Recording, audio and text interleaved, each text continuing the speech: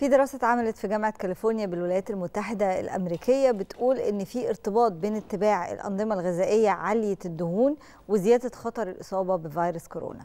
فريق الباحثين اتوصلوا إلى إن في ثلاث أنظمة غذائية عالية للدهون بتزود من البروتينات الشوكية اللي بتسهل دخول فيروس كورونا للجسم. خلونا نعرف تفاصيل أكتر منا حول هذه الدراسة من الدكتورة سالي وحيد الخضري استشاري الصحة العامة والطب الوقائي واللي بتنضم لينا عبر تطبيق زوم. صباح الخير دكتور سالي. صباح النور وصباح الخير يا مصر. عايزين نعرف من حضرتك في البداية هل فعلا زي ما الدراسة بتقول في أنظمة غذائية عالية الدهون بتؤدي إلى زيادة احتمالية الإصابة بكورونا؟ يعني هل في ربط علمي فعلا ما بين الأمرين دول؟ ده حقيقي في دراسات كتيرة اتعملت في الموضوع ده من أول أبحاث كورونا من أول كورونا ما ظهرت تقريبا بس الدراسة الأخيرة اللي انتشرت واتنشرت في مجلة Times of India كانت أصلا منشورة في مجلة ال Nature ودي من أعلى المجلات عالميا في ديسمبر 2023 واللي كانت بتقول إن الأنظمة الغذائية عالية الدهون ليها ارتباط وثيق جدا بزيادة الإصابة أو بتخلينا عرضة للإصابة أكثر بفيروس الكورونا. ودي كان ليها أسباب كتير. أولها إن ال ال ال ال ال ال diet أو الأنظمة الغذائية عالية الدهون دي بتخلي الجسم يعمل metabolism أو الايض بتاع الجسم بطريقة معينة يطلع لنا بعض البروتينات وبعض زي ال ACE 2 ده ده receptor موجود على الخلايا تخلي الخلايا بتاعة الفيروسات ليها في في هي الفيروس دايما كنا بنرسمه ليه spikes كده أو زي أشواك. الأشواك دي بتسهل عليه بياخد البروتينات دي وتسهل عليه دخول الخلايا. ده مش كده بس ده بتوقع المناعة جدا لأن الأنظمة الغذائية عاليه الدهون بتأثر على المناعة تأثر شديد غير إنها بتأثر لي على ال microbiome. ال microbiome وده ترند جديد جدا ترند جديد ومنتشر عالميا لدرجة إن سموه brain gut axis و brain وال gut يعني ان المعدة أو الأمعاء متوصلة بالجسم كله وهي المسيطرة على الصحة العامة للجسم. هي برضو ال fat diets أو ال ال الأنظمة الغذائية عالية الدهون بتأثر لي على الميكروبيوم أو البكتيريا النافعة اللي موجودة في الأمعاء وبالتالي بتخلي لي الأمعاء غير صحية تدخل لي ميكروبات كتيرة تخلي الجسم في حالة التهاب طول الوقت أو زي ما يكون الجسم بيدافع عن ميكروبات مش موجودة تستنفذ جهاز المناعي بطريقة شديدة تخلينا عرضة مش بس الكورونا لأمراض كتير جدا. دكتورة إحنا عارفين إن كل شوية بتطلع موضة كده في ال diets قعدنا فترة نشوف ال fat diets وكان في مقابلها ال PBD أو ال plant based diet أنت متخيلة إن الأنظمة النباتية ممكن تكون أقل خطر في الإصابة بفيروس كورونا وبرضه في نفس الوقت تساعد الجسم على إنه ينزل بنفس السرعة اللي بتاخدها الناس اللي ماشية على ال fat diet أو على الأنظمة اللي عالية الدهون؟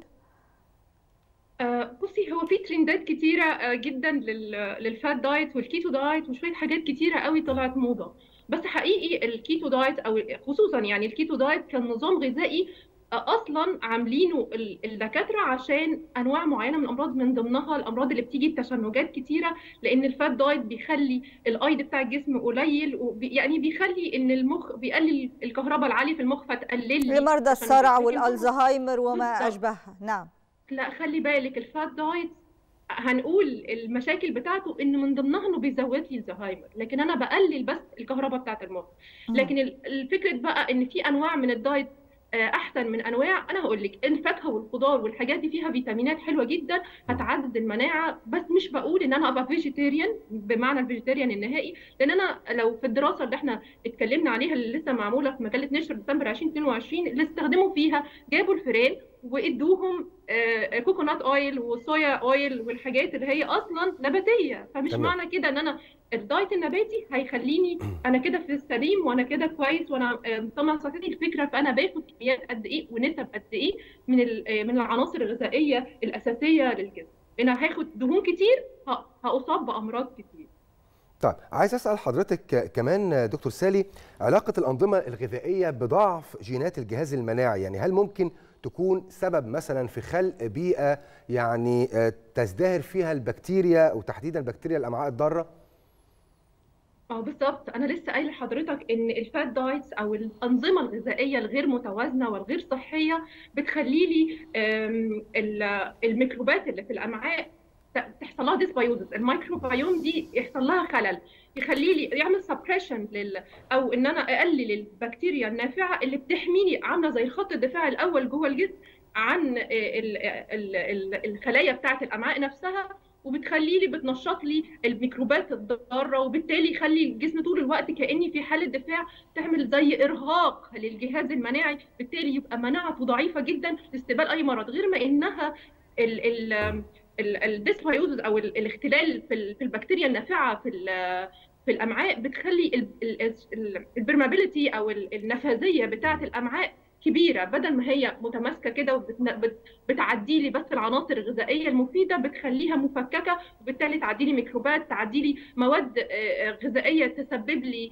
التهابات وتسبب لي حساسية وبالتالي ترهق الجهاز المناعي جدا م. أنا عايزة أقول لكم إن ال fat diet نفس الباحثين اللي, اللي انتشرت المواقع العالمية وبيقولوا إن هو ال fat diet طالعة بيزود لي الالتهاب بتاع الجهاز المناعي أو الإصابة بفيروس كورونا عملوا دراسة في 2015 وقالوا إن ال fat diets دي أو اللي هي الأنظمة الغذائية عالية الدهون بتسبب لي مرض السمنة، مرض السكر، مقاومة الإنسولين، الكبد الدهني. الكبد الدهني دلوقتي ما بقاش زي زمان نقول ده عندك شوية دهون على الكبد. لا الكبد الدهني دلوقتي سبب في, في تليف الكبد وممكن يسبب سرطانات. وبرضه عملوا دراسة في 20 20 لقوا فيها إن إن مش بس بتأثر لي على الصحة العامة بتأثر لي على خلايا المخ وال genes بتاعت ال brain أو الدماغ. ممكن توصل لتوحد زي ما قلت حضرتك تعمل زهايمر تبقى مسببة للقلق والتوتر وللاكتئاب فمش أحسن حاجة خالص ال fat diet. ولو هننصح بأنواع diet معينة فعندنا ال Mediterranean diet عندنا ال DASH diet لأمراض ال ال الضغط واللي عندهم ارتفاع في الضغط. عندنا ال pharaonic diet أو اللي هو ال diet الفرعوني نرجع بقى لاصلنا المصريين. أكيد. كل الشكر ليكي. الدكتوره سالي وحيد الخضري استشاري الصحة العامة والطب الوقائي. شكرا جزيلا.